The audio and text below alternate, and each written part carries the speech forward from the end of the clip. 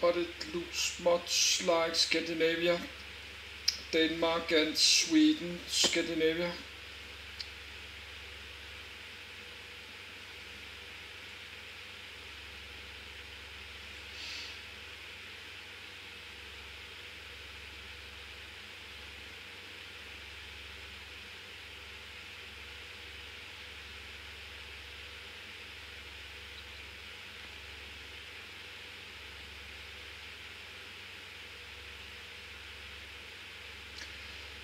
United States, they're very big.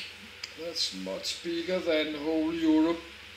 Many have many that have been born and living in United States. They have not tried to travel around inside inside their own country. Like from California to New York, they never drive there in a car or visit many of the states so many that take a big road trip to explore their own country. In a, in a you have this van life, that driving with cars and exploring many weeks and months.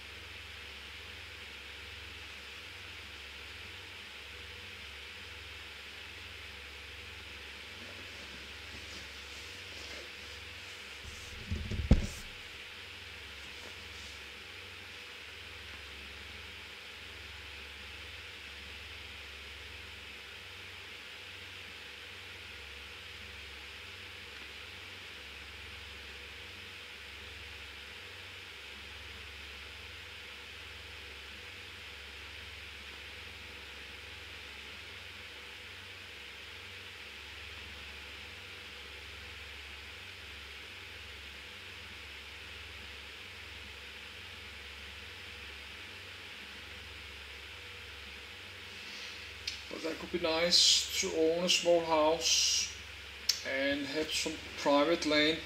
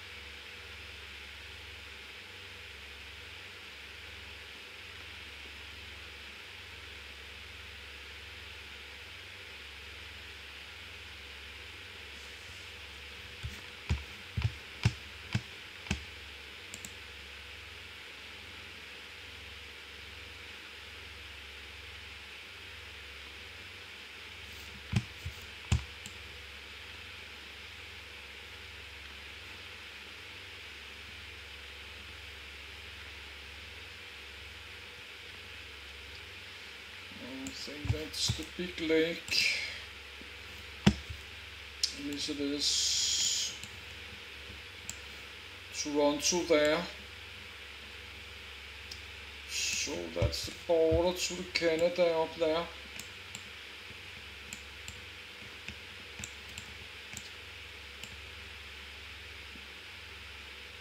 That's Ottawa. This is where we would like to go.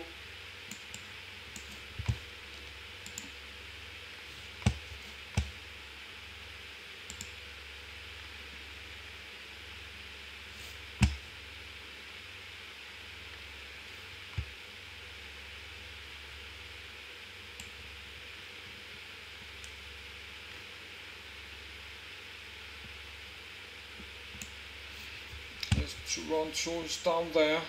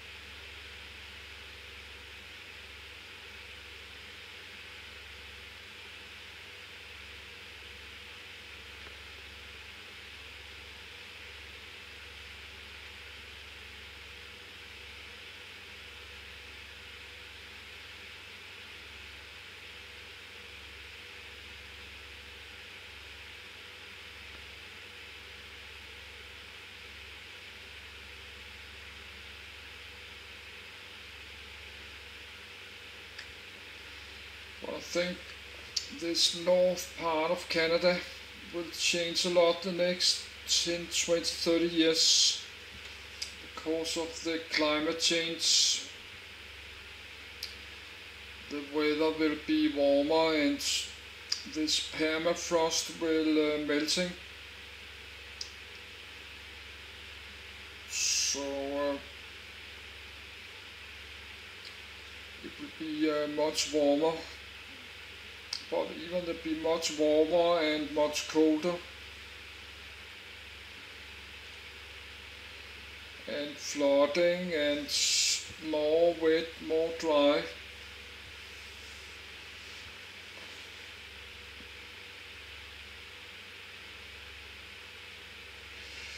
But uh, that's not, it's minus 40 Celsius or minus 30 or 25 or 20, that's not big difference. That's still super cold.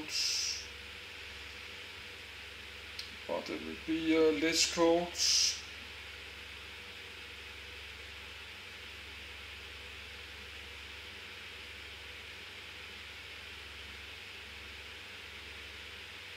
Yes, the permafrost, this is the the ground, have, the soil had been frozen for many millions of years, and when it starts to to uh, to unfreeze, then it's releasing a lot of uh, methane gas. It's releasing a lot of gas that have been trapped inside in the soil and underground. That can raise the the CO2 level in atmosphere a lot more. And then the temperature raising more and then it melting more and more and more and more and more to it get out of control. This is not how this this probably how the the, the atmosphere on the earth will be destroyed I think because of all this permafrost will uh, will unfreeze will melting, this is melting, smelting, melting. No, the permafrost will smelting, melting, and release all these uh, methane gases. Then the temperature will raise more, and then more will will melting.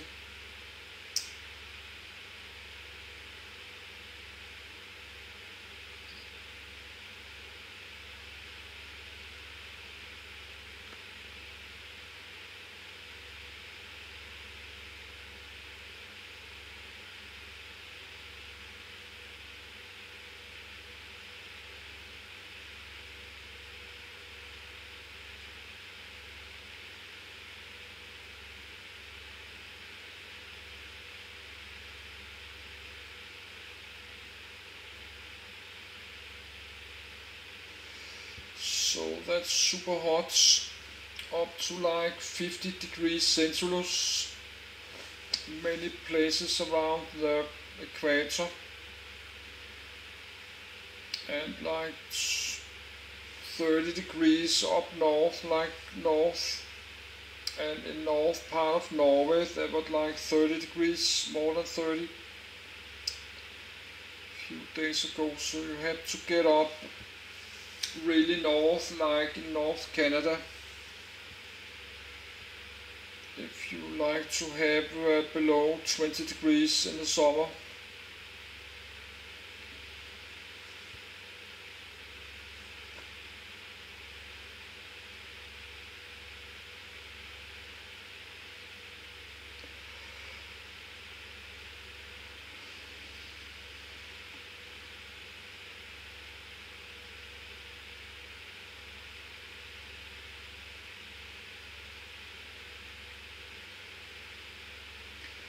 but I should try to go fly to Nuuk in Greenland one day.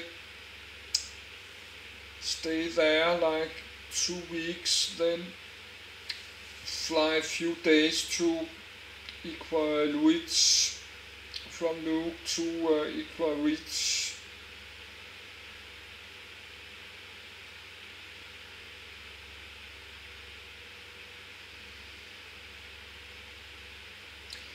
but I need a lot more money to do that.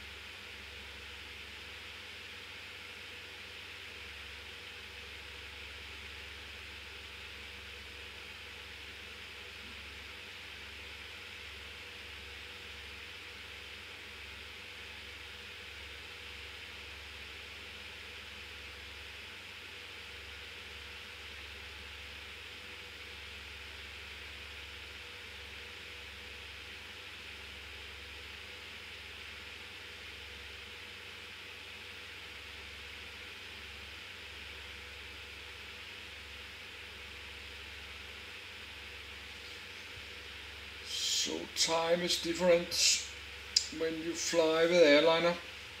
Like if you take a small walk, like one and a half hour on your foot to take a walk like five or six kilometers. You can fly like thousand kilometers in an airliner on like one and a half hour. You can fly big distance like seven, eight hundred kilometers. Same time you're just walking like five or six kilometers.